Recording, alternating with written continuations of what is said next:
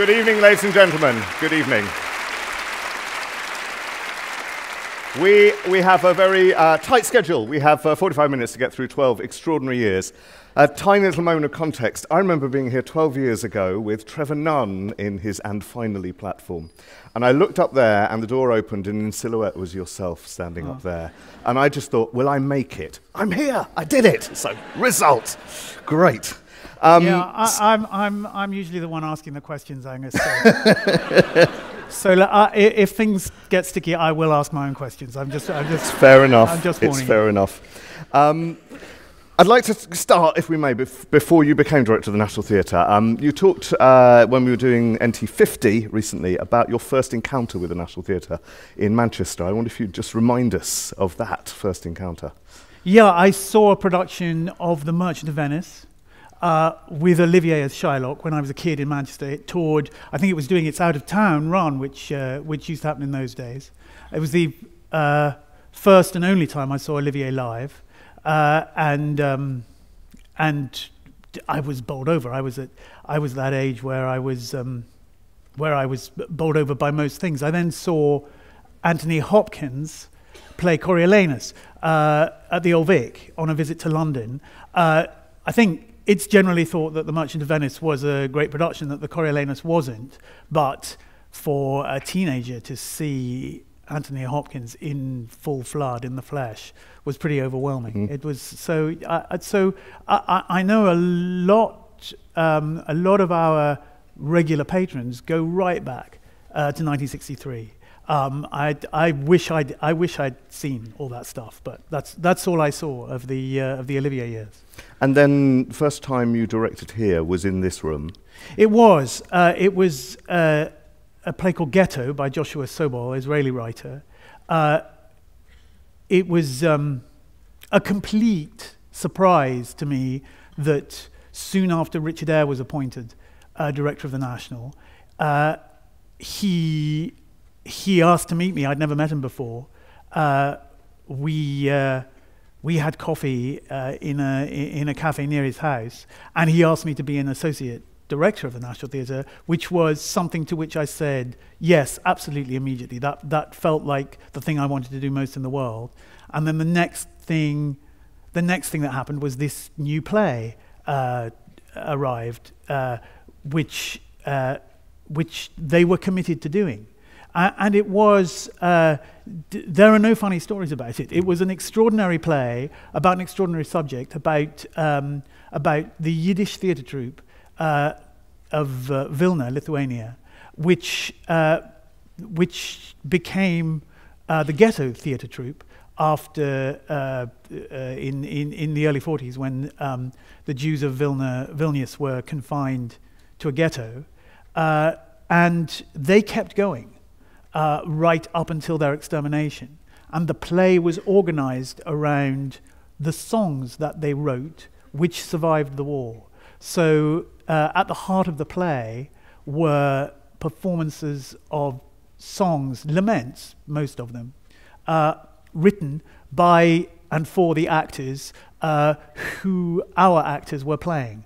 And it was, uh, it was, a, it was um, not a sentimental play, it was a, it was a complicated play written by an Israeli uh, addressing um, issues which were very difficult in Israel at the time, uh, addressing uh, what was involved in uh, surviving the Holocaust and arriving after the Holocaust in Israel. So it was a, it was an, a, a, a, very moving and complicated play, uh, which was um, not by any means the first time I worked with Alex Jennings, uh, who played the SS commandant of, uh, of the ghetto, but one of his many great performances. Absolutely. Yeah.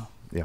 And uh, from there, uh, the beginning of a very important collaboration with Alan Bennett, Wind in the Willows and Madness of George III.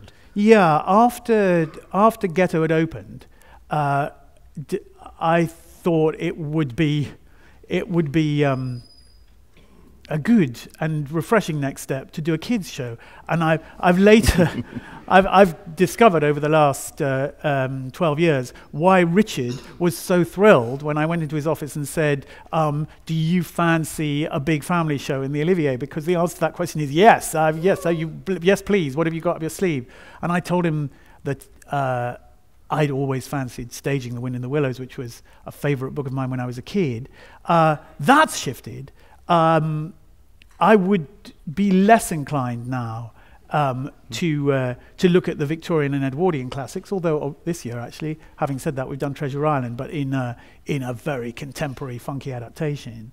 Um, and Wind in the Willows, uh, Richard, um, we, we both of us uh, um, immediately thought that the obvious person to approach was Alan, whose reading of the book um, was already yeah. uh, famous on Radio 4.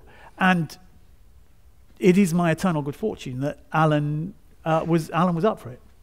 Uh, and he says himself that our working relationship began with him saying to me when I went to visit him for the first time, uh, which was three or four months after uh, the lady in the van, Miss Shepherd, had, um, had, had finally vacated um, uh, uh, um, on account of her, um, uh, uh, uh, she, drove, she drove the van straight to heaven and, and it had gone. I, he said, I don't, I, I, I, I, don't, I don't know how you're going to do this. How, how are you going to do a train? How are you going to do a barge? I said, you don't need to worry about that. I'll do that. Just write it. and that's, that is very much how we've, uh, how we've worked ever since. He claims to have no visual imagination, which is not true. Uh, but he has left, uh, um, he has trusted me with the staging of his plays. Um, and after The Wind in the Willows cl- closed, not long after The Wind in the Willows mm. closed, the of George III simply arrived on my doorstep. Um, and, uh, and that was the beginning of our relationship proper, because that play came, as so many of his plays do, as all of his plays do, um, in a very unformed state, not, not yet found its center, not yet found its focus. And we have always worked together um, to find out what the spine of his plays what the spine of his plays is. Uh, he again, he claims he never knows, but I think I, I, playwrights differ. Many playwrights uh, are very eager um, to put something out there and to work with a director, with actors, to find out what they've got. Um, others don't deliver until they've got it locked down. Um, but Madness of George III was um, was kind of uh, it was that was the beginning of of, um, of what's been gone on since really. Uh, another stroke of good fortune was that I had happened to see uh, shortly before Alan delivered the play Shadowlands, uh, which was the play about C.S. Lewis, in which Nigel Hawthorne played C.S. Lewis.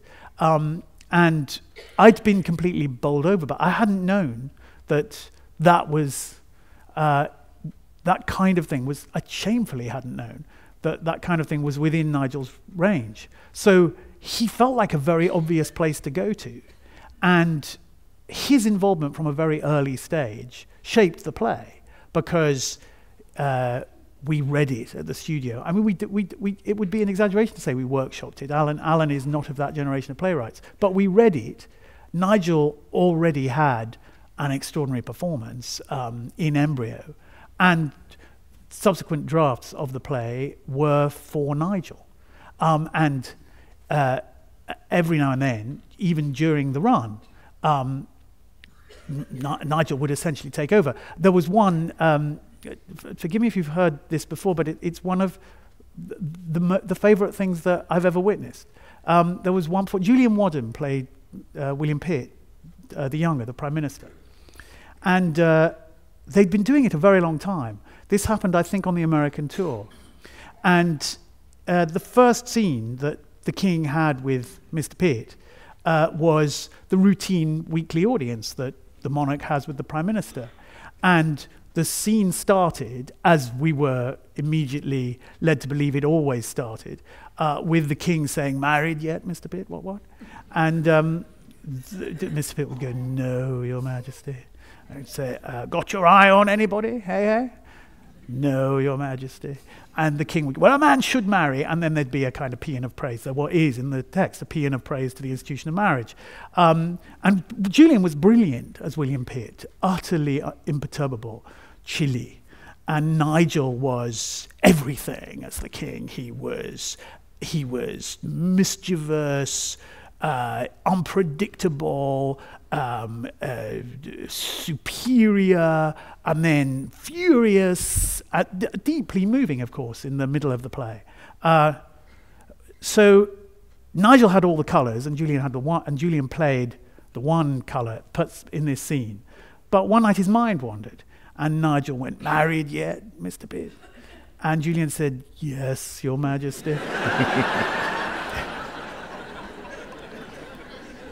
and you just you just didn't mess with Nigel. And you saw his eyes narrow. And he said, Who to, Mr. Pitt? What, what? Complete panic. You see Julian. Julian suddenly complete, he was suddenly right back in the present. And he went, uh, uh, The daughter of the Duchess of Huddersfield, Your Majesty. Completely invented branch of the aristocracy. To which Nigel said, What's she like, Mr. Pitt? which is what Nigel, that's, that's, that's what Nigel Hawthorne was like. It was a, the whole thing was, uh, was blissful, actually. Know. And became a film. Became a film, yeah. It was, uh, that, was, that was my first, and I think uh, so far my best film, because, and I mean this pretty seriously, I didn't know what I was doing. And uh, the director photography with whom I've worked on virtually every film I've made, Andrew Dunn, said to me when we were looking for locations, uh, he said, You only make your first film once, you don't know what's impossible. So ask for everything that occurs to you because soon enough uh, you will know not to ask because you'll know how impractical it is. And that, that is indeed what happens. And there was a kind of innocence, ridiculous innocence, about the decisions we made on that film. Um, and I learned everything I know about making films from Andrew Dunn, who shot it, and Tariq Anwar, who edited it. Um, and they have just shot, Andrew has just shot, and Tariq is in the process of editing uh, the film of The Lady in the Van, which we shot in the autumn and will come out in November. Great. Uh, to, to move ahead, nodding obviously at Carousel, which was another extraordinary um, piece of work, to uh, was there, when, when was the moment you had the National in your sights? Uh, well, I knew I definitely didn't want to do it when Richard announced that he was moving on. I didn't know how to do it. I didn't know how to do it better. I couldn't think of a, or differently even, I couldn't think of a different way to do it. Uh, Richard ran it absolutely brilliantly. And it was an enormous education um, and privilege to be his associate. And the only experience I had, um, really, of running an institution as big as this was watching Richard do it. Uh, I'd never run anything before, but when he, when he said he was moving on, it was time to consider whether I was prepared to throw my hand into the ring, and I absolutely wasn't. Mm-hmm. Um, and it, it, I had just made the movie, and I'd done Carousel, and I, I'd spent um, uh, three or four years um, having um, an exciting time. Uh, more in America than here, but that was something I needed to go through. I, I, I was, I was, uh, New York is a fraction of the theatre town that London is. I mean, New York is not a sensible place to make theatre. Uh, and it's one of the reasons why so much that is good, and a lot of good stuff does come out of New York, um, happens because those who make theatre have such, have such insuperable odds um, uh, they've got so much stacked against them. So the good stuff, example, the brilliant show Here Lies Love, the, uh, the um, David Byrne uh, musical about Imelda Marcos that we did in The Dorfman a few months ago, so phenomenally energetic and original, but that's very, very hard. You have to be re- really fight to get something like that together in New York, and I didn't have that kind of energy or know-how, and this is a better place to make theatre, and movies are not for me. So I got that out of my system. And I always knew that, that if the opportunity arose at the right time, um, I'd want to do this. And in all honesty, I had got bored with myself as a director. I thought, there's very few of us who are so remarkable that it's worth going uh, decade after decade just churning out the shows. You need, I felt that, that I needed um, to do something else, to, to, to, um, to be less fixated on, on the gig in hand, um, because which is what it can sometimes feel like. That's why so many theatre directors uh, do branch off into movies or television or opera, or they write.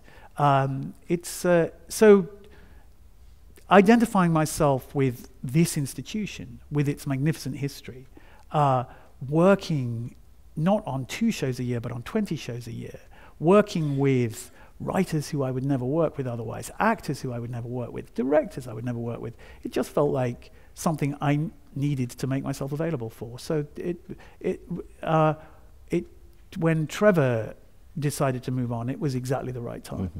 And where did um, the incredible partnership with Nick Starr begin? Uh, yeah, you are absolutely right to, uh, to highlight that. Uh, I wouldn't have applied for the job if I hadn't already uh, worked out with Nick um, a plan a campaign. I'd met Nick here at the National Theatre. He was in the press office when I did my first show, Ghetto. Richard quickly realized uh, how much he had to offer, and he became head of planning in short order. And many of the systems that we still use here were invented by Nick in the 90s. Uh, and I realized that uh, I simply didn't have the skill set to do the job in its totality. Um, I have no particular managerial expertise. Um, I've got an instinct for making sure that what we do um, costs what it needs to cost and a nose for where the income might be, but no expertise. Um, and Nick is the strategic brain, and that started before I applied. Um, and I made it very clear to Chris Hogg, the chairman who appointed me, that um, I came as a job lot. Uh, the proper processes were observed um, when the executive director job came up. Um, and I apologize to those who um, applied at the same time as Nick Starr, I'm afraid. um, one of the many things you right with was, was, of course, the Travelex ticket scheme, which yeah. is still in existence here and has spread across the cultural sector um, in an extraordinary way.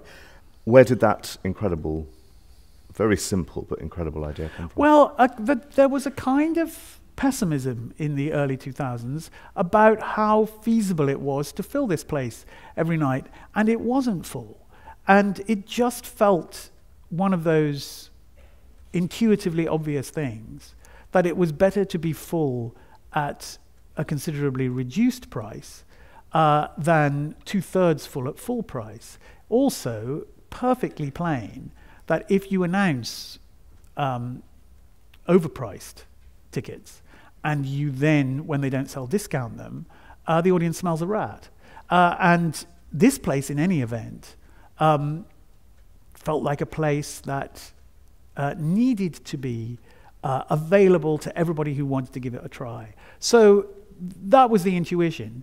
Um, fill the place uh, at lower prices uh, because the Olivier in particular was really struggling. Uh, and struggling even with core rep, um, let alone with big new plays, which was another of the things that I talked about right from the beginning. We've got to get the younger generation of playwrights excited about working on a big scale again because everything's been reduced to a black box.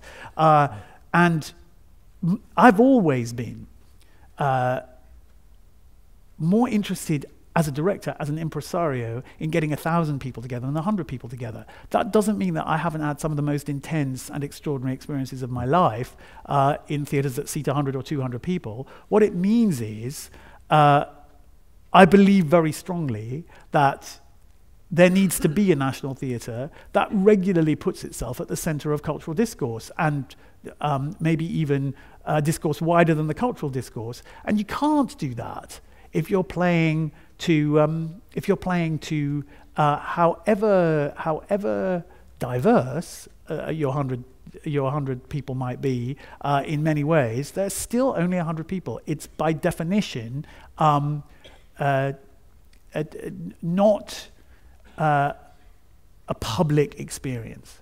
Uh, so filling this place, filling the Lyttelton, felt like what we were here for.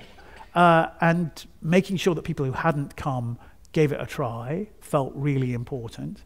So um, the, um, the Travelex uh, scheme uh, was something we actually committed to and announced before we had a sponsor. Um, I mean, the story's been told often before. We thought we had another sponsor who pulled out. Uh, and Travelex, uh, Lloyd Dorfman came in pretty much at the last moment, uh, by which time we'd already said we were, we'd already announced the shows and we'd already announced the price they were going to be sold at. Um, and uh, it's, so that, it, that was a, that was a, uh, a real communal achievement, uh, the, amongst all my colleagues here. Um, the, um, production department with whom I worked to find ways of producing uh, more efficiently, more cheaply, uh, designers and directors who signed on for the concept, uh, and our development department who found the sponsor, um, it, and Nick who who worked worked out how. Um, worked out how the how how the money would happen, how how how we would afford it, uh, but it's only it's a means to an end. Um, and even, I have to say, uh, from the point of view of my own personal satisfaction, the audience is a means to an end. I, it's uh, because uh, it's, it's getting excited by the work that makes the job worth doing. Um, and one of the things that, that uh, I, I, I say because it, it really is the kind of thing that if you're a member of the audience, um, uh, you just got to take it on trust from me that it's, it's one of those mysteries which I'm afraid you can never be part of. Uh, the first run through 20 times a year, oh, yes, yeah, sometimes it's terrible, sometimes it's really depressing. But over the last 12 years, going in time after time to a rehearsal room um, and 18 of those 20 I didn't direct. My first run through, because I'm the director, is never good enough. It's always enraging, infuriating. I feel completely incompetent. I feel it's never going to come together. But some of the stuff we've done, seeing it for the first time in a rehearsal room, that's, that's when I walk out on air.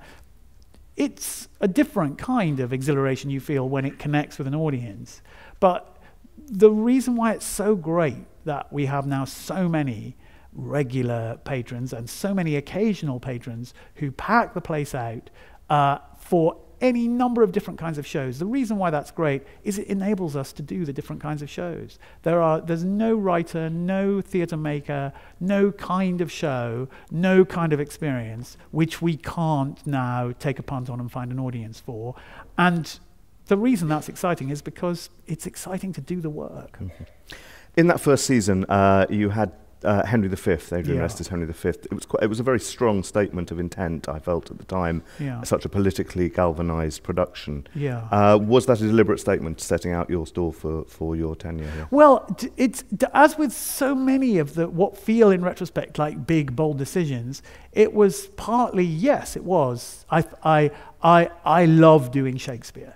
Uh, I think it's an equally bold statement, I have to say, to kick off with Everyman, a kind of uh, underseen great mm-hmm. English play, uh, which is plainly should be the kind of thing that the National Theatre has as its core. But Henry V, bizarrely, had never been done by the National Theatre, despite the fact that it was one of Olivier's most famous parts. He did it long before he became director of the National Theatre. Um, and it was before we'd gone to war in Iraq that it was programmed and before we'd gone to war, that I'd asked Adrian Lester to play Henry V. Uh, and when we did go to war, uh, the play, as Shakespeare does, just changed meaning. So it would have been bizarre not to do it the way we'd done it. It would have been, in a way, more of a statement not to have done it as a play about uh, a British army uh, embarking on a foreign adventure uh, with. Um, questionable grounds in, interla- in international law. Um, questionable, I use the word advisedly. I mean, the play is not, the play doesn't say, uh, the, the play probably thinks it's saying um, uh, hero king invades France for very good reasons. But Shakespeare is always too multi layered, ambiguous, contradictory a playwright ever to go with a single statement. Just felt like um, it, it, felt like a pragmatic decision. Uh, also, a statement of intent. I wanted to do Shakespeare and I wanted to do it in a fresh and contemporary way. And then, and then it turned out that you know, we were doing the right play at the right time. Another statement, 2004, um, his Dark Materials in yeah. here. Um, uh, an extraordinary commitment to our work for young people and a very different view, very different from Wind yes. the Willows, say. Well, one of the things that happens if you are a if I mean, maybe this doesn't happen to all directors or all people who run theatres, but it certainly happens with me, is that as soon as something's done, all I can think about is how differently I want to do things next time. So a lot of the decisions I take about the work I direct and the work we program is in reaction to something that's happening at the moment. Uh, we've got to, that's either, well, that's terrible, we need to get it better next time, or that's good, but we need to now strike out in a new direction. I didn't, I, I loved the experience of doing Wind in the Willows, and the thing I liked about Wind in the Willows was the extraordinary use it made of the stage machinery here. I thought it will be good to get that out and dust it down and use it again. Uh, uh, um, it, it, hadn't been used for a while, but mainly I thought I want to recommit to the big family show. Uh, and I was nudged in the direction of his Dark Materials, which I, uh, which I hadn't uh, read by the then head of the literary department, Jack Bradley they felt completely impossible, in the same way as Warhorse felt impossible. Uh, that's always a provocation. Uh, and uh, to do a big two part epic uh, based on these extraordinary stories uh, and to use the stage fully, that was something I wanted to do. Now, as soon as it opened, and particularly in the years since, um, it, was, it was a great great event.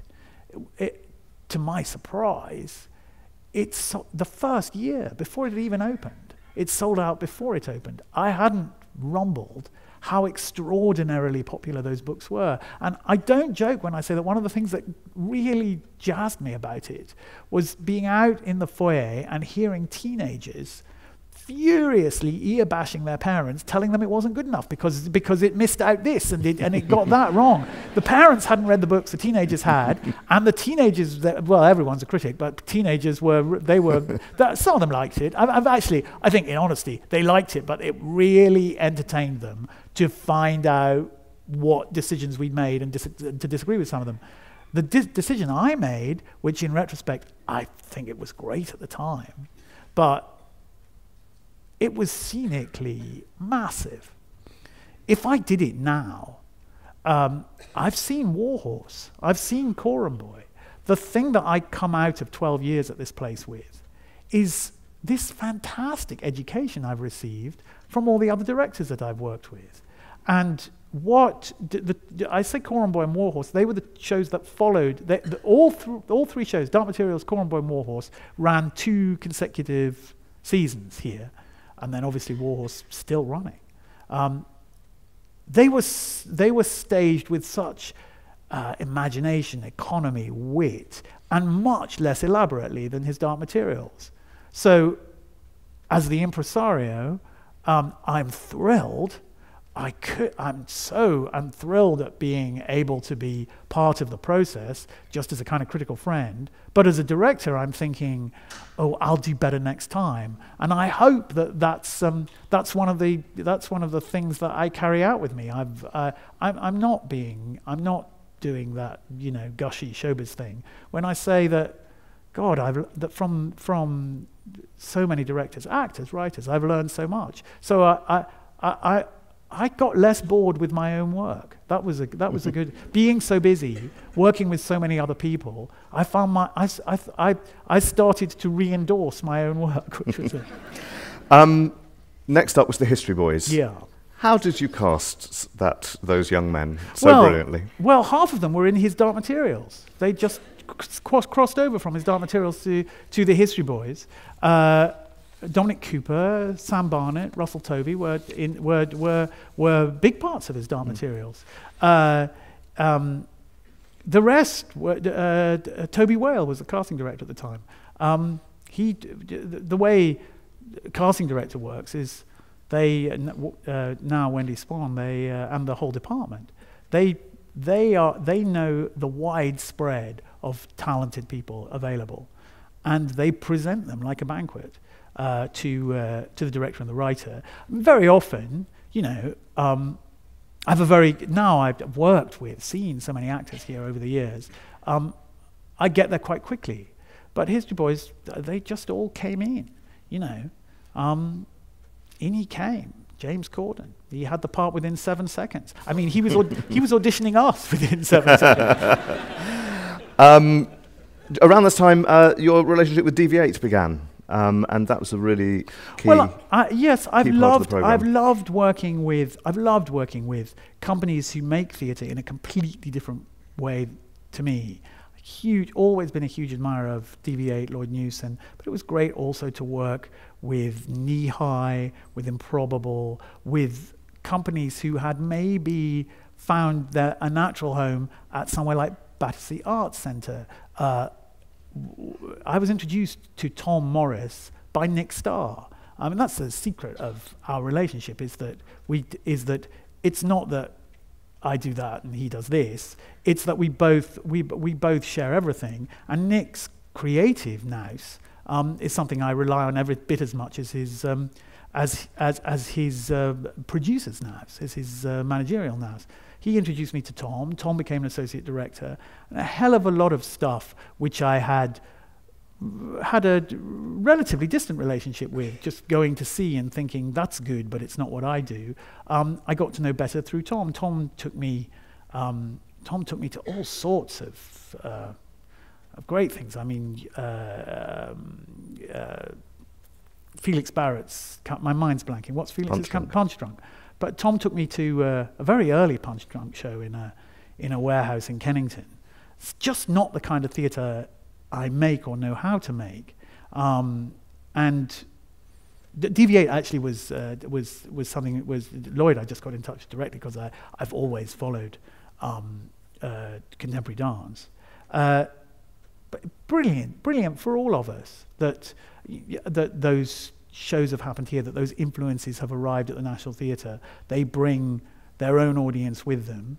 And, you know, there's a, um, there's a hardcore audience at the National who would never see a DV8 show if it wasn't here. Um, and maybe, you know, they go out thinking, not for me, but they've had a taste. Skipping over War Horse, Much Ado, England People, NT Live. 2009. Where, where did that idea, well, Phaedra being the first? Yeah, well, the, the, Metropolitan Opera was already doing it. And, um, and so it, I, I, can't claim um, that this was something we invented. Uh, but there was a lot of skepticism, some of which I shared. I, was, I, I knew that we had to do this, but I had a fear always that if we did it, it would look like bad movie making or overlit TV projected large. And I genuinely thought, as did many of the actors to begin with, that the experience would be jarring, horrible. There's so much of a, of, of, a, of a, um, a, difference in category between opera and cinema that when you watch opera on a big screen, you don't bring any cinematic yardsticks um, to bear in the way you're watching it. I was afraid that you would go to the cinema, watch Phaedra, and they'd all look as if they were shouting and overacting, and they'd look as if they were overlit. And the thing which, partly because uh, the technology is so much better than it used to be, partly because we had six cameras, able to rehearse with the cameras, able with very expert camera directors uh, to work out very good shooting scripts. Uh, but also because of something I don't quite understand, it doesn't feel like going to the cinema. It feels like going to the theatre in a, in, in a movie house. Uh, and it's, uh, it was a, um, something I um, just kept droning on about. And eventually it was Lisa Burger, the chief operating officer here, who said, This year, I'm going to find, you've been talking about this often enough, we're going to find the money for it. Um, and we asked David Sabel to, uh, to do a feasibility study, and that was so persuasive that we then asked him to, to launch the scheme. And uh, it was a game changer. and the interesting thing about the whole digital element is I think much more will happen, which we kind of can't conceive of yet. Um, it, it, broadcasting theatre live to cinemas, that felt like uh, a, a, a pretty obvious step. I think that probably a thing's going to happen over the next 10, 20 years, which we just don't, we don't have the language to talk about yet because it's not happened yet. But I think it's, it is going to be exciting. After that came uh, James Corden's return, One Man, Two Guvnors. Yeah. Um, again, another fruitful uh, writer relationship with Richard Bean. Yeah. Did you think that that had the global legs that it had? No, I've, to- I've told this, this story before. I told it when it, when it happened. There was a very gloomy um, uh, summer um, uh, booking period about to be announced. And there was a gap in it, which I, I, I very often um, committed myself mentally to that slot there and waited to program it to see what the National needed. I've enjoyed doing that. I've enjoyed saying, okay, I'll do Major Barbara. Um, I'll see whether I can get on with Shaw. Um, and I, you know, I, I know. I, very often it's I know we need a comedy, and uh, uh, they all go, "Ooh, I didn't want to do a comedy," and I go. Uh, And I go, well, it's all right, I, I will. I quite like doing it. Um, I love the experience of the audience collapsing. I mean, you know, the, the single most exciting evening I've ever spent in any theatre anywhere was the first preview of The History Boys when, when you just, oh my God, this, this is like rock and roll. Um, and we didn't know that. Uh, so there we were with a slot. It had to be comedy, it had to be me. Um, and The Servant of Two Masters was, I, mean, I played the Corden part when I was at school. Uh, and I was also looking for something for James, who was going through that trough. I mean, it, it, it, it's now he seems unstoppable, but but at that time everybody hated him, um, and I knew I knew how good he was. So so that came as a kind of package, and it came together quite quickly. Um, most mostly, I'm not necessarily generating the ideas, but I knew it was that play. I knew it was James. I knew the uh, it was going to be finding the equivalence between you know the old Italian tradition and the old English tradition, um, between Commedia dell'arte and Ode the Pia. And I asked Richard to do it, and it came together very quickly. Um, and you know all sorts of. I said to Tom Morris, "So who should I get to do all the physical stuff?" And it was Tom who's very often said, "Oh, you well, do you remember Cal McCrystal of Spymonkey, who, whose work I'd seen? You know, if Cal hadn't done all that physical stuff, it wouldn't have been half as funny." But it was, um, it, it, it, wasn't that much fun to rehearse. Uh, it, it, was, it wasn't that it was horrible, it's just rehearsing stuff whose only purpose is to make you laugh is not a particularly grateful thing to do. It's you just have because after the first, second, third time through, nobody's laughing anymore, and um, so it feels kind of the, the the rehearsal room feels airless, and you just have to keep drilling it and keep trusting that it will be funny one day soon when it's spontaneous again and when there's an audience in front of it. So, it, so the first preview of that was pretty exciting. Uh, Alecky Blythe and Adam Cork's London Road, another extraordinary risk of a production. Was that a rehearsal room moment where you went, "Oh my god"?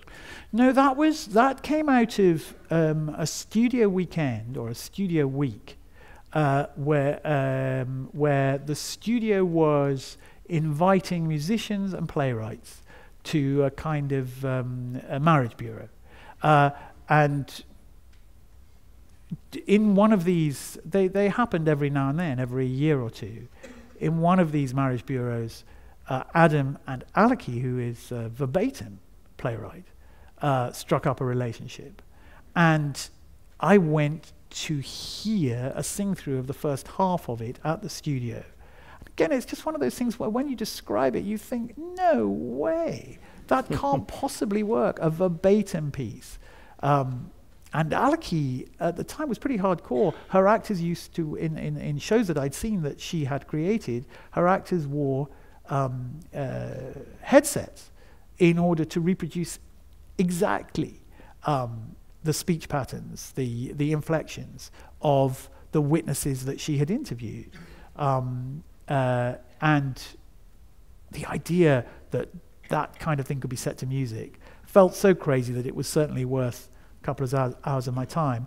I was blown away by it and just said yes. That's again one of the great. That's been one of the great joys, just being able to say yes. That's a joy that um, that very few theatre directors, directors of theatres, have. I mean, this place can, when it wants to, just say, we're going to do it, doesn't matter who comes to see it, or it doesn't even matter whether we get anybody to see it. This is plainly worth doing, and that's what, that's what happened there. 2013, uh, the 50th anniversary fell on your shoulders. Um, and I wonder, there was, there was an extraordinary moment for me when we were at the Old Vic with Lady Olivier performing St. Joan with you filming her. It seemed like an incredible crossing. It was. It was, an, it was an extraordinary. That was, that was one of the most uh, moving, um, moving things I've ever witnessed. Um, we asked Joan Plowright uh, if she would do a speech from St. Joan. We asked her uh, not to do it live, but to do it on stage at the Old Vic. It felt like a really good way um, to, to, to. One of the things that we should kick off the 50th anniversary with was something done from the stage of the Old Vic. That was her great part in 1963. Um, and uh, she's, she, she has difficulty with her sight these days, uh, Joan. Uh, and she came to the front of the Old Vic stage and she, she said, um, "Am I at the front? Am I facing the horseshoe?" And we said yes. She said, "Can I? Can I? Um, can I retake? I, mean, I, I, don't really know this. I might need lots of takes. Is that okay?" I said, absolutely, you know, that's absolutely fine. It's brilliant that you're here. And we did one take, and a camera crew who didn't really know what it was. They just turned up with the cameras. They were they were as tearful as I was, as you were. It was, uh, it was, it was completely extraordinary. And I think it was one of the best performances on that night. It was amazing. She uh, emailed today, so sorry I'm unable to be there to celebrate your great achievements, Nick, at the National. I send my warmest wishes for an equally exciting future. Farewell, thank you, and bon voyage. That's oh, what that's, she well, said. That's lovely. That's rather lovely. Yeah. Um, moving on, Great Britain. What a coup that was uh, holding a performance, uh, a production completely secret in rehearsal. Yeah, I, would, I don't, I, don't, I don't, I'm not sure that I would. Uh, I want to do that again. It was. Uh, it, it, was. It was. Um, it, you know, when we we we scheduled it, rescheduled it, rescheduled it again, and when we finally scheduled it, it felt inconceivable that that trial would drag on, and we had very clear legal advice that you mustn't announce you're doing it until there's a verdict uh, because you'll be in contempt of court. And that's okay, that's fine, there, there, there'll be a verdict. Uh, and, uh, and we went into rehearsal and there was no verdict. And it, it became increasingly clear that we would be ready with it and there would be no verdict. And I, I think the jury, I can't even remember now when the jury was sent out. Whether, I think it hadn't even been sent out on the day. Oh, I think maybe it was sent out on the day we should have been opening. Uh, and then we were told, oh, it could take three or four weeks. Um, and the nightmare was always going to be a hung jury. And that was a, a, how staunch the board was there is something that I will forever be grateful for. Nobody on the board said, no, this is ridiculous, shouldn't be doing this. on the contrary, they said this is plainly the kind of thing the National Theatre should be doing. Uh, out now, raucous, um, um, big grotesque cartoon of a satire about uh, the press and uh, the police and, uh, and the political establishment. Uh, it, it, it, was not designed to have any subtlety. It was designed to be a kind of big smack round the face. Um, we had already worked out, I mean, I can say now, uh, at one point we were advised uh, if the principals are acquitted, you can't do this play. They will come after you for libel. But we thought about it and realized how there might be a version of the play where uh, the, the defense that was offered was built into the play as the truth. And the defense was that the editor of the newspaper in question um, had no idea what was going on. Um, and implicitly, um, actually more or less explicitly, the defense was saying uh, my client was either not competent enough or too stupid to know that this was happening. So we had a version of the play where there was a very stupid editor, and it. Um, I am prepared now to reveal there was also a version. Um, it has been pulped, um, where um, where the Billie Piper character um, became editor um, which she didn't in the version we, uh, we performed. We had no opinion. We were prepared to leave it to the jury. um, Talking the political establishment, uh, there's an election around the corner. What do you think uh, is uh, what's ahead for the arts? What challenges? Do you know one of the things that is absolutely wonderful about today is You I don't don't to. have to have an opinion anymore. I am so bored of all my opinions. so, so, so, no, pass, Angus. I'm Okay, it's fine. It's, it's actually after six o'clock, so you're no longer an employee here. Yeah, so that's okay. so you're now fine. I can be You're released. yeah.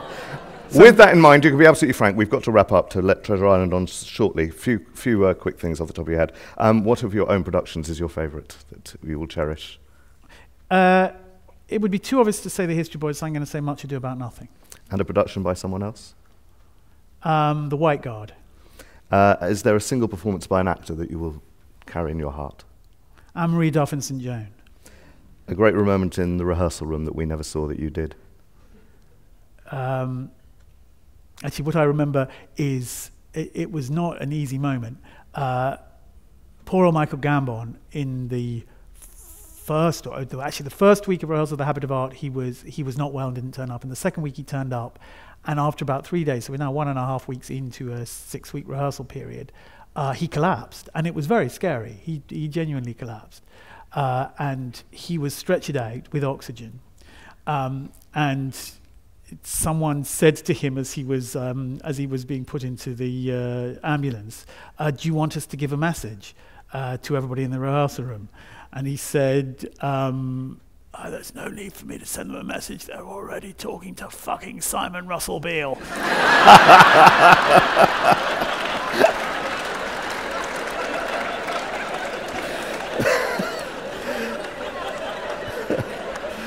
here, here, here is here is the terrible, brutal, unsentimental truth about the theatre. We were in the canteen recasting it at the time, and Simon wasn't available, and so. Uh, so, and, uh, so d- uh, the next day, um, I called Richard Griffiths, who had every right to say, "Hang on a minute, um, I did you proud in the History Boys, and you didn't ask me first time round. Why are you asking me now?" But uh, Richard was not like that, and I called him out of the blue. And his wife said, Oh, I'll just go and get him. How nice to hear from you. There was a long, long pause. And he came on the line and he said, You will be interested to hear that I have come to you from my exercise bike.